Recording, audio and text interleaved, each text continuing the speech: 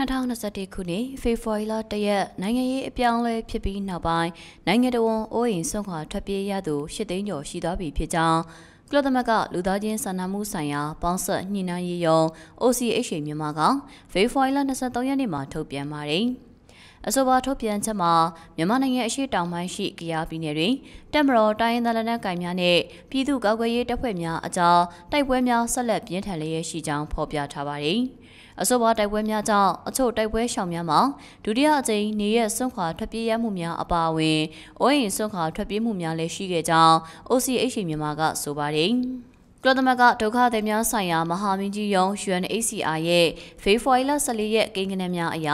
လိုင်ကော်မြို့နယ်မှာနေရဲပြန်သူ200ခန့်မှာနီးစပ်ရာတော်ရဲသို့ထပ်မံတိုက်ပွဲရှောင်ထွက်ပြေးခဲ့ရကြောင်း OCH မြန်မာထုတ်ပြန်ချက်မှာဖော်ပြထားပါတယ်။တနင်္သာရီတိုင်းဒေသကြီးပလောမြို့နယ်တွင် ဖေဖော်ဝါရီလ3ရက်ကတည်းကဖြစ်ပွားတဲ့တိုက်ပွဲများကြောင့်လူဦးရေတရာခန့်မှာအိုးအိမ်ဆွန့်ခွာထွက်ပြေးခဲ့ရကြောင်း OCH မြန်မာထုတ်ပြန်ချက်တွင်ပါရှိပါတယ်။ UNHCR နဲ့မိဖက်အဖွဲ့များအနေနဲ့သတင်းချက်လက်များကိုဆက်လက်စုဆောင်းလျက်ရှိပြီးနေရဆွန့်ခွာထွက်ပြေးသူကိန်းဂဏန်းမှာဆက်လက်မြင့်တက်လာမယ်လို့ခန့်မှန်းရကြောင်း OCH မြန်မာထုတ်ပြန်ချက်တွင်ဖော်ပြထားပါတယ်။မြန်မာနိုင်ငံအရှေ့တောင်ပိုင်းမှာလူသားချင်းစာနာမှုဆိုင်ရာတောလာခွင့်ဟာခက်ခဲလျက်ရှိပြီးကယားပြည်နယ်ဒီမော့ဆိုဖရူဆိုနဲ့ရိုင်းကော်မြို့နယ်တို့မှာလျှက်စစ်မီရေအင်တာနက်နဲ့မိုဘိုင်းဆက်သွယ်ရေးဝန်ဆောင်မှုလုပ်ငန်းများမှာပြီးခဲ့တဲ့လများကတည်းကပြတ်တောက်လျက်ရှိကြောင်း OCH မြန်မာကဆိုပါတယ်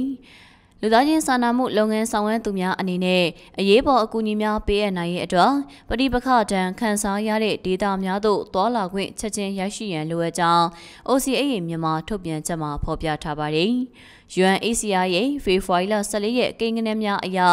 2021ခုနှစ်ဖေဖော်ဝါရီလကတည်းကအရှိတောင်ပိုင်းမှာနေရက်စွန့်ခွာရသူဦးရေ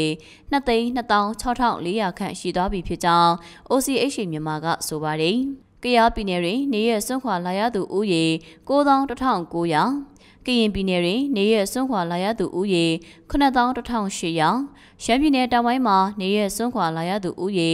91,800မွန်ပြည်နယ်မှာနေရက်စွန့်ခွာလာရသူဦးရေ9,500တနင်္လာရီတိုင်းဒေသကြီးမှာနေရစွန့်ခွာလာရသူဦးရေ2600နဲ့ပဲခူးတိုင်းဒေသကြီးမှာနေရစွန့်ခွာလာရသူဦးရေ800ခန့်ရှိနေကြောင်း OCH မြန်မာထုတ်ပြန်ချက်မှာဖော်ပြထားပါတယ်။ 2021ခုနှစ်ဖေဖော်ဝါရီလတရက်နိုင်ငံရေးအပြောင်းလဲဖြစ်ပြီးနောက်ပိုင်းတိုက်ပွဲရှောင်ရသူဦးရေ45,300အပါအဝင်နိုင်ငံအဝန်းအိုးအိမ်ဆွန့်ခွာထွက်ပြေးရသူဦးရေ8,23,400ခန့်ရှိသွားပြီဖြစ်ကြောင်း OCH မြန်မာထုတ်ပြန်ချက်မှာပါရှိပါတယ်။